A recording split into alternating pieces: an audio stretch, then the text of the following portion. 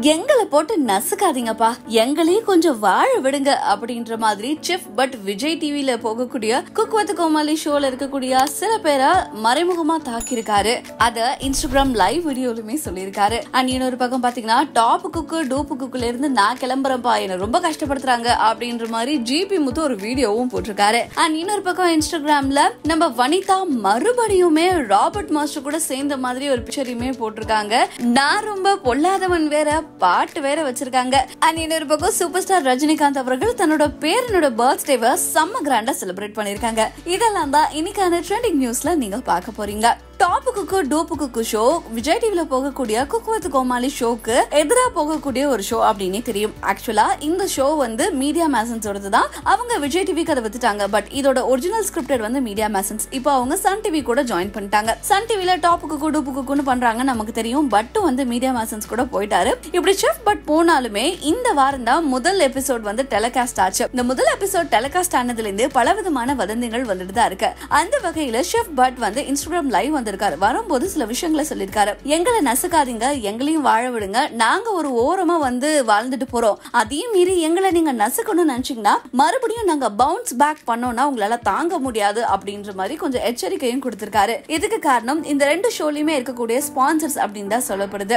Sponsor இங்க கொடுக்கறதா அங்க கொடுக்கறதான்னு தெரியாம தவிச்சு போயிருக்காங்களா? பாதி ஸ்பான்சர் சன் டிவில இருந்து அங்க போயிட்டாங்க அப்படின்னு சொல்றாங்க. இது ஒரு பக்கம் இருக்க இந்த ஷோல தான் டூப்பு குக்கா நம்ம ஜிபி முத்து இருக்காரு. ஜிபி முத்து தன்னோட இன்ஸ்டாகிராம் பக்கத்துல ஒரு வீடியோவை போட்டிருக்காரு. அதுல அவர் சொல்லியிருக்க விஷயம் என்ன அப்படின்னா டாப்பு குக்கு டூப்பு குக்கு பாத்தீங்களா? உங்களுக்கு பிடிச்சிருந்ததா? நான் கிட்டத்தட்ட பதினான்கு மணி நேரம் அந்த வீடியோவை எடுத்திருக்கிறாங்க. நான் ரொம்ப கஷ்டப்பட்டு அதுல பெர்ஃபார்ம் பண்ணிருக்கிறேன் ஆனா ஈஸியா நீங்க வந்து கமெண்ட் பண்ணிடுறீங்க. அது எவ்வளவு பெரிய ஒர்க் தெரியுமா? ரெண்டு நிமிஷத்துல நீங்க கமெண்ட் பண்ணிட்டு போயிடுறீங்க. நான் பதினான்கு மணி நேரம் அந்த எபிசோட்ல வந்து அவ்வளோ ஒர்க் நான் பண்ணிருக்கேன் நீங்க இப்படிலாம் பண்ணலாமா? அப்படின்னு ஜிபி முத்துக்கே இருக்கக்கூடிய பாணியில சொல்லியிருக்காரு. ஜிபி முத்து கதறத பார்த்தா இவரும் கூடிய விரைவில் டாப்புக்கு டூப்புக்குள்ள இருந்து விலகிடுவாரு போல அப்படின்னு இன்னும் நிறைய பேர் அந்த வீடியோல மறுபடியும் கமெண்ட் பண்ணிட்டு தான் இருக்காங்க.